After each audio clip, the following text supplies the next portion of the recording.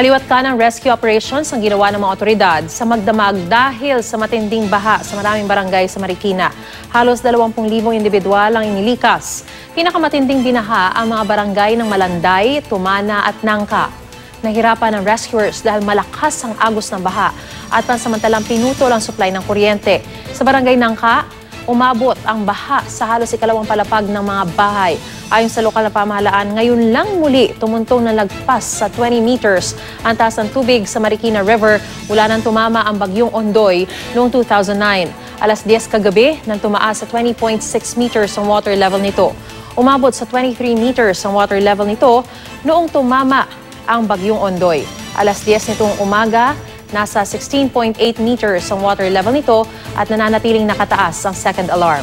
Isa naman netizen ang may kuha sa isang matandang babaeng naipit sa baha sa ilalim ng tulay sa C5 Road pasado alas 5 ng hapon. Hindi raw niya matulungan ang babae dahil sa tansya niya ay hanggang liig ang baha at malakas ang agos nito.